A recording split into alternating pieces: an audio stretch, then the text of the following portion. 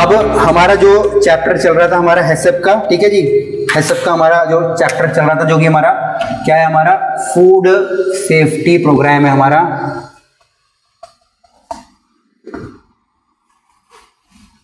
ठीक है जी? ये हो गया हमारा फ़ूड सेफ्टी प्रोग्राम अब इसके अंतर्गत हम लोग कई सारे, मैं आप लोगों को यहाँ पे स्लाइड्स दिखाने वाला हूँ एक एक करके, ठीक है? जो कि हम लोग क्या करेंगे, जो कि हम लोग अपने अपने अपने जो भी हमारे किचन से, हमारे जो भी पाँच सर्विस अपार्टमेंट के किचन से, वहाँ पे जाके हम लोग इन लोगों को पोस्ट करेंगे। ठीक है, ये सारे आप लोग लेमिनेट इनको करवा लेना है और डबल साइडेड टेप जो होती है, वहाँ पे हम लोगों को इसको पेस्ट कर देना है। अब सबसे पहले यहाँ पे जो है, मेरा है, वो है मेरा पर्सनल हाइजीन ठीक है जी पर्सनल हाइजीन मेरे पास यहाँ पे है। अब पर्सनल हाइजीन का मतलब क्या है? जैसे हम लोग किचन में काम कर रहे हैं हम लोग, ठीक है ना? तो हम किससे डील कर रहे हैं? हम लोग खाने से डील कर रहे हैं। और खाना सबसे ज़्यादा क्रिटिकल होता है, ठीक है? कोई भी खाना अगर खा रहा है तो वो हमारे भरोसे पे खा रहा है कि भाई हम लोगों ने बिल्कुल शुद्ध, साफ़, स्वच्छ खाना बनाया होगा ठीक है ना? अब हमारी भी जिम्मेवारी बनती है as a chef as a cook as a helper जो भी आप अपने आप को समझते हैं, ठीक है ना? हमारी जिम्मेवारी बनती है कि हम उसको अच्छी क्वालिटी का, ठीक है, खाना दें जो कि किसी भी प्रकार से उसके अंदर बैक्टीरिया वैक्टीरिया ना हो, जो कि हमने इससे पहले डिस्कस करा था। ना उसके अंदर किसी प्रकार का केमिकल हैजर्ड हो, ना फ़िज़िकल हैजर्ड हो, ना बायोलॉजिकल हैजर्ड हो। ठीक है? तो अब उसके लिए हम लोगों को क्या करना है? हमको ये वाली जो प्रैक्टिस है, वो हमको फॉलो करनी है। सबसे पहले पर्सनल हाइजीन का मतलब क्या है? पर्सनल हाइजीन से क्या क्या हम लोग निकालेंगे? सब आप बताओ पर्सनल हाइजीन का मतलब क्या है? चलिए। ये लगाइए आप इधर को। आप बता बताइए सर पर्सनल हाइजीन का मतलब होता है जैसे कि इस तरह ना सिर्फ़ थोड़ा सा दोनों एंगल लेगा। हाँ आप बोलो हाँ जैसे कि कोई भी ऑर्डर आता है हमारे हाँ, पास हाँ, तो सबसे पहले अपने हाथ क्लीन करना है। जब ऑर्डर जाने से पहले ये नहीं ऑर्डर की नहीं बात कर रहा मैं आपके घर से शुरुआत करता हूँ। घर में आप सबसे पहले उठते ही आपको क्या करना है? सर मैं उठते ही पहले हम फ्रेश होंगे नहाएँगे धोएँगे हाँ। है ना? जो भी आप जो जिसका जैसे जो है वो डेली करेगा। ठीक है। उसके बाद जाके हम जो भी चाय कॉफ़ी बनाते हैं तो सुबह हम जब उठते हैं तो हमारे बर्तन वैसे वो धुला भी होगा तो उसको एक बार हम फिर वाश करेंगे। चलिए ठीक है। अभी यहाँ पे देखो पर्सनल हाइजीन का मेरा मतलब क्या है जैसे हम फ़ूड हैंडलर है ठीक है ना? हम, फ़ूड हैंडलर मतलब जो कि हम लोग फ़ूड को हैंडल कर रहे हैं। या चाहे आप किचन से हो सर्विस से हो उससे कोई फ़र्क नहीं पड़ता है ठीक है? डेली शावर हमारा हो जाता है ठीक है ना? रोज हमको क्या करना है? नहाना है। बेसिक वो एक रिक्वायरमेंट होती है हमारी हमको रोज़ नहाना है ठीक है जी? ये सबसे पहला रूल होता है। दूसरा हमारे जो नखून है वो कटे होने चाहिए ठीक है? दूसरा ये रूल होता है ठीक है? ये हमारा। तीसरा हमको हमेशा जो अपने अंडर गारमेंट्स वो चेंज करने डेली बेसिस पे नहाने के साथ साथ ठीक है? चौथा इसके बाद हम जब भी आ, अपने किचन्स के अंदर एंटर कर रहे हैं तो हमारे पास हमारी खुद की साफ़ यूनिफॉर्म होनी चाहिए जो कि हमको डेली बेसिस पे हमको वो भी हमको चेंज करनी है। ठीक है? तो ये हमारे बेसिक रूल हो गए जो कि हमको अपने पर्सनल हाइजीन के तौर पे लेना ठीक है ना? इसके बाद जैसे हम लोग बोलते हैं कि भाई हम लोग कोई गुटखा खा रहा है, कोई दारू पी रहा है, ठीक है? That is your personal thing but kitchen के अंदर इस तरीके की चीज़ें कुछ भी अलाउड नहीं होती, ठीक है ना? वो आपका पर्सनल पार्ट होता है, आप बाहर क्या कर उसको कोई मतलब नहीं है, ठीक है ना? सब पैसा इसलिए कमा रहे हैं लोग अपने इंजॉय करने के लिए बट वो चीज़ें आपके काम पे इफ़ेक्ट नहीं करनी चाहिए ना? अभी जैसे पहले क्या होता था लोग किचन्स के अंदर बीड़ी पीते सिगरेट पीते थे। अब जैसे मैं अपना पर्सनल एक्सपीरियंस अब अब तो ऐसा कुछ भी नहीं है ठीक है ना? बट लोग अभी भी जैसे हम लोग बोल रहे हैं लोग गुटखा वो अब भी है। बट वो चीज़ें भी नहीं करनी चाहिए। आप बाहर करो कोई प्रॉब्लम नहीं बट किचन के अंदर आपके ये नहीं होनी चाहिए ठीक है? इसके अलावा जैसे हमारा हैंड वॉशिंग होता है ठीक है वो हम लोग अलग, अलग से ट्रेनिंग्स करेंगे। बट पर्सनल हाइजीन के अंदर हमारी ये चीज़ आती है हमारी ठीक है ना? इसमें एक चीज़ और है जैसे मैं शेव मैंने बोला ठीक है? इसके अलावा हमारे जो दांतों को साफ़ करना हो गया, वो इंपॉर्टेंट हो जाता है। हाथों के नखून काट रहे तो पैरों पैरों के भी नखून काटने हैं, है ना? और इसके अलावा हमारे को सॉक्स भी ज़रूर हमको लोगों को पहनने हैं, ठीक है? जैसे सॉक्स हम लोग इंक्लूड नहीं करते बट सॉक्स भी एक हमारी पर्सनल हाइजीन का हमारा पार्ट हमारा हो जाता है, ठीक है? अब कुछ पॉइंट्स मैं आपको यहाँ पे, आपको मैं ये बताने वाला ठीक है? जैसे सबसे पहले keep yourself clean keep yourself clean and water clean protective clothing when working with food ठीक है? अब आप अगर किचन के अंदर काम करें तो आपके पास आपकी क्लीन यूनिफॉर्म होनी चाहिए या प्रोटेक्टिव क्लोथिंग प्रोटेक्टिव क्लोथिंग का मतलब क्या? आपके एपरेंस वगैरह होगी। जैसे अभी हम लोग जैसे आप लोग बेसिक आपने सबने बोला भाई हमने इंडियन किचन में हम लोग काम करें। तो इंडियन किचन में क्या? बेसिकली वो ग्रेवी व्रेवी ये सब हमारे ऊपर लगने गिरती है, ठीक है ना? तो वहाँ पर हमारा होना चाहिए और हमारे पास यूनिफॉर्म हमारे पास होनी चाहिए। इसके अलावा प्रोटेक्टिव क्लोथिंग के अंदर हमारे ग्लव्स भी हमारे आ जाते हैं, ठीक है? अब ग्लव्स का इस्तेमाल करने के दो तरीके होते हैं, ठीक है? आपको हर जगह ग्लव्स इस्तेमाल नहीं करना है। रेडी टू ईट फ़ूड मैं एग्ज़ाम्पल लूँगा, जैसे मैं, अगर मैं प्याज काट रहा हूँ तो ग्लव्स पहनना है? प्याज अगर मैं काट रहा हूँ तो ग्लव्स पहनना है कि नहीं पहनना है? बताओ। सर, आप ही बताओ, प्याज काटते वक्त। है ना?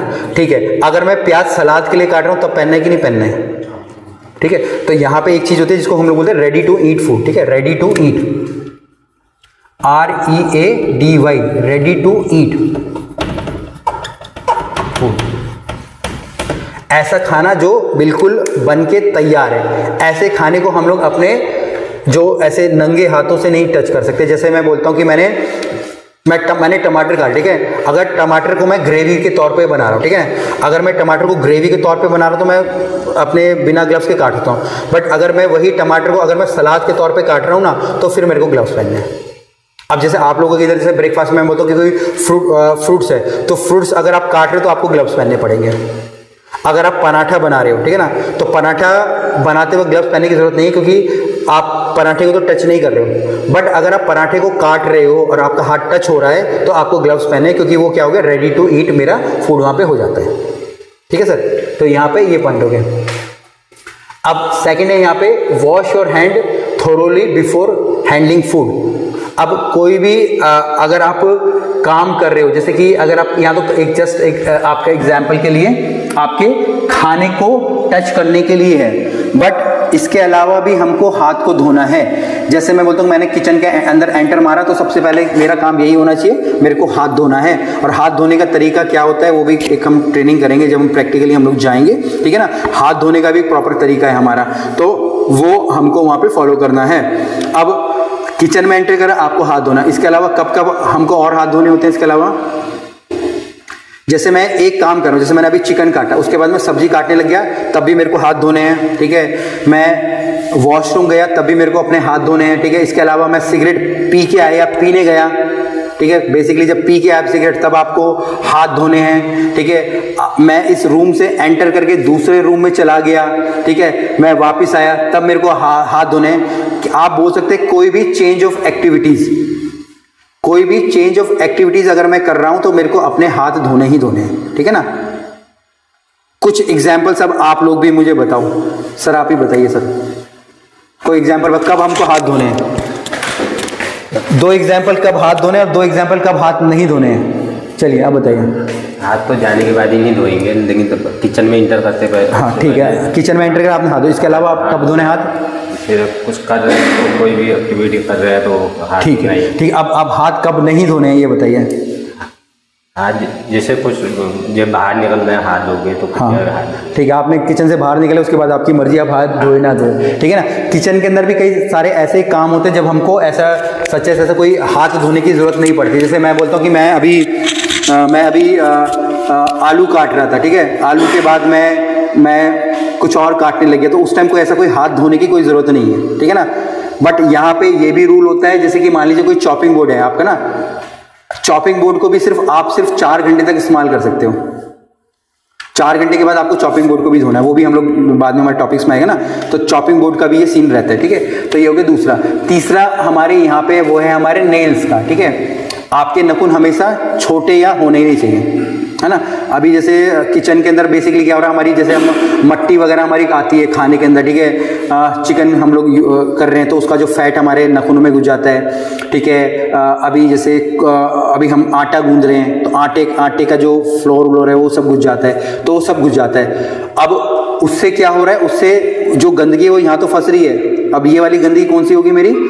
फ़िज़िकल के अंदर भी आ सकती है और ये बायोलॉजिकल के अंदर भी आ सकती है दोनों आ सकती है, ठीक है ना? उससे लोग बीमार पड़ सकते हैं या सबसे पहले तो मैं बीमार पड़ सकता हूँ। ठीक है जब मैं खुद बीमार पड़ रहा हूँ फिर मेरे को खांसी सर्दी जुकाम हो रहा है फिर मैं छींक रहा हूँ खांस रहा हूँ खाने के ऊपर फिर वो वाले जो बैक्टीरिया है जो हेजर्ट है वो खाने के अंदर जा रहे हैं फिर वो खाना आपके जो साथ में काम करने वाले वो खा रहे हैं वो भी बीमार पड़ रहे हैं फिर गैस भी बीमार पड़ रहे हैं ठीक है? तो पूरा का पूरा एक जंजाल सा बन जाएगा ये ठीक है? तो हाथों के नखूनों को छोटे रखना है और आ, अपने दांतों से नखून नहीं काटने यहाँ पे लेडीज़ वगैरह काम करती हैं हमारे यहाँ पे है? हाँ में है। ना? हाँ ठीक है। तो चलता है बट किचन के अंदर अगर कोई काम कर रहा है तो नेल्स हमारे ट्रिम हमारे होने चाहिए, ठीक है? इसके बाद है, हमारी जो हेयर नेट का है, ये जो हम लोग टोपियाँ लगा के अपने सर पे रखते हैं keep your hair clean and tidy cover with a hair net that और head while working with food don't scratch your head अब ये वाली टोपी आप ये पहन लीजिए, चाहे शेफ वाली पहन लीजिए, कोई भी पहन लीजिए, उससे कोई फ़र्क नहीं पड़ रहा है, ठीक है ना? बट ध्यान ये रखना है कि आपके कान वान पूरे कवर होने चाहिए। दो चीज़ों से मतलब बेसिकली टोपी का इस्तेमाल दो चीज़ों के लिए किया जाता है। पहला किया जाता है ताकि जो हमारे, जो पसीना है वो यहीं तक, अंदर ही तक रह जाए, बाहर ना निकले, ठीक है? दूसरा जो हमारे बाल है वो बाहर ना गिरे। दो चीज़ों के, दो चीज़ों को प्रोटेक्ट करने के लिए हम लोग टोपी, हमारी पहनती टोपी आप कोई सी पहन लीजिए, कोई फ़र्क नहीं है। ठीक है ना? यहाँ तो ऐसी है, आप वो लंबी वाली पहन लीजिए, आजकल तो ऐसे बांधने वाली आती है ना, वो पहन लीजिए, उससे कोई फ़र्क नहीं, ठीक है ना? तो इन चीज़ों का हम लोगों को ध्यान रखना है। इसके बाद यहाँ पे डू नॉट स्नीज कफ और टच योर माउथ ठीक है? वाइल वर्किंग विथ फ़ूड अगर आपको खांसी है, सर्दी है, जुकाम है, ठीक है? और वो इतना ज़्यादा है कि आप आप एक तरीके से बीमार ही हो तो आपको ड्यूटी पे नहीं आना है। सिंपल होता है, ठीक है ना? बट अगर आपको सर्दी खांसी है और आपको छींक वगैरह आ रही है तो आपको खाने के ऊपर उसको नहीं मतलब कि करना है। ठीक है? जैसे छींक आ रही है तो आप साइड में, जैसे मेरा ये हमारे जो शेफ कोट है तो आपने साइड में रखे आप साइड में रह उसको छींक सकते हो। ठीक है? उसको आपको फिर खाने के ऊपर आपको नहीं छींकना है। ठीक है? छींकना हो गया, खांसना हो गया ठीक है? इसका कफ कफ होता है हमको, ठीक है? वो सारी चीज़ें हमको फिर खाने के ऊपर हम लोगों को नहीं हमको करनी है। इससे होगा क्या? फिर से वो बैक्टीरिया खाने के अंदर जाएँगे, फिर वो गेस्ट खाएगा, ये सारी चीज़ें जो मैंने आपको बताई।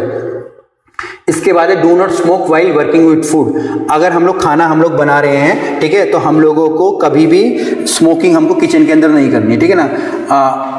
किचन के अंदर एक तरीके से अलाउड भी नहीं आई थिंक अब तो कोई करता भी नहीं होगा, है ना? अब तो पहले होते थे बट अब तो है नहीं तो इसका कितना कोई महत्व नहीं है। इसके बाद है डू नॉट ईट ठीक है जी? Do not eat while working with food अब जैसे हम लोग किचन में, हम लोग शेफ है, ठीक है ना? तो we are allowed to taste the food हम लोगों को अलाउड है कि भाई हम लोग अपने खाने को टेस्ट करें। बट खाने को टेस्ट करना और खाने को खाना दो चीज़ होती है। खाने को खाने का मतलब होता है कि भाई मैं पेट भर के अपना, मैं खाना खा रहा हूँ, ठीक है? एक और खाने को टेस्ट करने का मतलब है कि भैया मैंने एक प्रॉपरली स्पून लिया है फोक लिया है और वो खाना सही बना है या नहीं बना है मैं उसको टेस्ट कर रहा हूँ, ठीक है? अब खाने को टेस्ट करने का मतलब अलग होता है, ठीक है ना? और खाने को खाने का मतलब अलग होता है। हम लोग जैसे मैंने बोला मैं शेफ हूँ, ठीक है ना? तो ये हमारी एक तरीके से रिस्पॉन्सिबिलिटी है कि खाना टेस्टी जाए। सबसे प्राइम तो ये होता है, ठीक है ना? दूसरा प्रॉपरली हाइजीनिक तरीके से जाए वो भी है। बट अगर मैं इस पॉइंट को दोबारा से अगर मैं पकड़ रहा हूँ, ठीक है? Do not eat while working with food अब आप खाना टेस्ट कर रहे हो तो आपको खाना तो पड़ेगा ही पड़ेगा। ठीक है ना? वो तो कंपलसरी है। बिकॉज़ बिना खाने को टेस्ट करे हुए आपके खाने को टेस्ट का आपको ही पता नहीं चलेगा, सही है, गलत है। तो यहाँ पे अगर आप खाना टेस्ट कर रहे हो तो आप लोगों के पास प्रॉपर स्पून होने चाहिए। आप चाहे डिस्पोजेबल वाले रख सकते हो, आप अपने स्टील वाले रख सकते हो, कुछ भी रखो, उससे कोई प्रॉब्लम नहीं है। बट एक स्पून को बार बार आपको खाने के अंदर नहीं डालना है। मतलब कि आपने इससे भी टेस्ट कर दिया, फिर दूसरे वाला है, उससे भी टेस्ट कर दिया। दैट इज़ नॉट गुड आप ये कर सकते हो कि आप दो चम्मच रख रहे हो, ठीक है ना? एक से आपने खाना पकड़ा, दूसरे चम्मच पे डाला और आपने उस स्पून से खा लिया। फिर जो दूसरा स्पून है, दोबारा डालो। मतलब कि जो आपके मुँह को टच हो रहा है, वो एक स्पून है और जो खाने को टच हो रहा है एक स्पून है सिर्फ़। क्लियर हो गया ना ये वाला?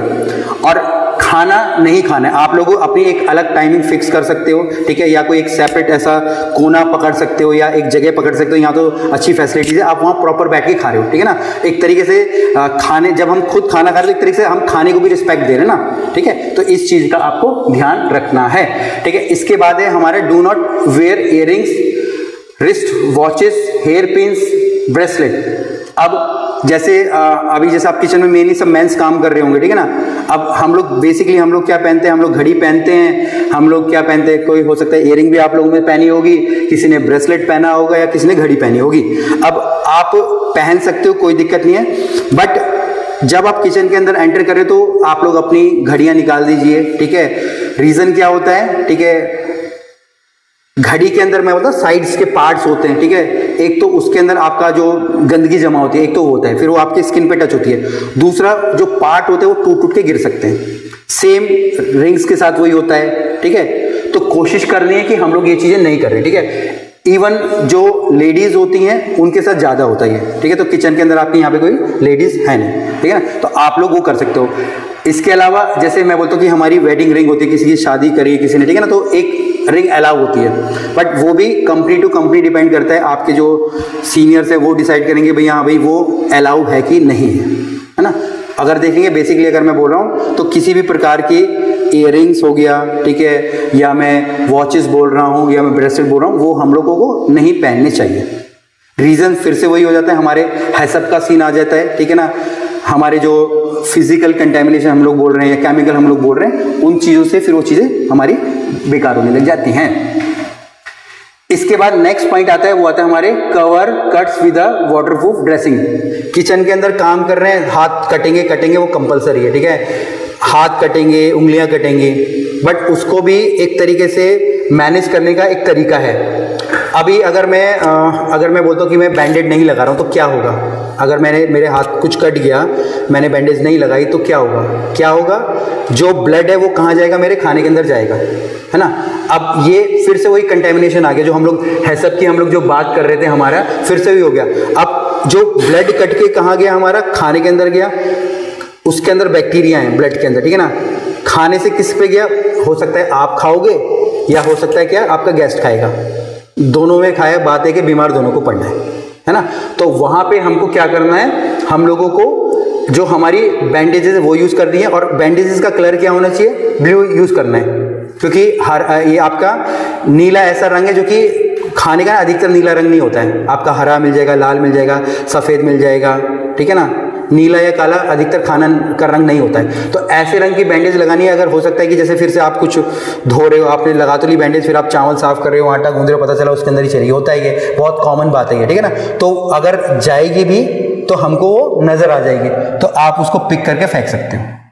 फिर से सिचुएशन डिपेंड करती है कि भैया किस स्टेज पे हमने पकड़ी है, ठीक है ना? कच्चे चावल में पकेगी फिर वो हमने पके वाले चावल में पकड़ी ठीक है? ये वाला हमारी हो गया। इसके बाद है do not wear aftershave strong aftershave और परफ्यूम आप लोगों ने देखा होगा, अगर फ्रिज है हमारा फ्रिज के अंदर अगर आप लोगों ने मच्छी रखी होगी ना तो आपके पनीर के अंदर भी मच्छी की खुशबू आने लग जाएगी। ब्रेड्स के अंदर भी मच्छी की खुशबू आने लग जाएगी। क्योंकि जो फ़िश की स्मेल है, वो इतनी ओवर ओवर पावर करती है बाकी चीज़ों को तो जो भी सॉफ्ट चीज़ें होती हैं, उनके अंदर वो स्मेल आने लग जाती है। कभी अगर आप लोगों ने ऐसा देखो ना फ्रिज के अंदर आप देखोगे ना मच्छी की मच्छी की पूरी स्मेल हो जाती है। रीज़न क्या होता है? उसकी जो स्मेल है बहुत ज़्यादा स्ट्रांग है। सेम उसी प्रकार से अगर हम लोग किसी भी प्रकार का एक आफ्टर शेव मैं बोलूँ परफ्यूम मैं बोलूँ कुछ भी बोलूँ कुछ भी खुशबू वाली चीज़ें लगा रही हो तो इतनी स्ट्रांग नहीं होनी चाहिए कि वो आपके खाने के अंदर आने लग जाए। ठीक है? इवन इवन जो आ, आप लोग खाना बना रहे हो जो सर्व कर रहे हैं ठीक है ना? वो भी उस प्रकार के परफ्यूम ना लगाएँ कि उनके खाने की जो स्मेल है वो खत्म हो जाए। आप बोल रहे हो कि मैं रोटी बना रहा हूँ, रोटी में तो रोटी की स्मेल ही नहीं रह जाएगी फिर। रोटी में तो फिर परफ्यूम की स्मेल आने लग जाएगी। ठीक है? तो वो ओवर पावर नहीं करनी है। तो अगर आप कोई भी डिओड्रेंट परफ्यूम किसी भी प्रकार की चीज़ें लगा रहे हो तो वो सॉफ्ट रहनी चाहिए हमेशा, ठीक है? हेलो एवरीवन मैं हूँ शेफ धीरज, मैं गुड़गांव में हूँ और हम लोग ट्रेनिंग कंडक्ट कर रहे हैं पर सर्विस अपार्टमेंट के साथ कोलैप्स करके। यहाँ पे हमारे चार दिन का जो ट्रेनिंग सेशंस होने वाले हैं, जिसमें हम उनके स्टाफ को ट्रेनिंग्स प्रोवाइड करने वाले हैं। एक पूरी सीरीज़ इस इस ट्रेनिंग्स की आने वाली है, जो कि आपको आगे देखने को मिलेगी। अगर आप भी कोई फ़ूड बिज़नेस चला रहे हैं और आप चाहते हैं कि आपके स्टाफ के लिए भी हम लोग ट्रेनिंग कंडक्ट करें तो आप लोग हमको अप्रोच कर सकते हैं। बाकी आप इन वीडियोज़ के सहारे से भी अपने जो एम्प्लॉयज़ को और ज़्यादा ट्रेन कर सकते हैं।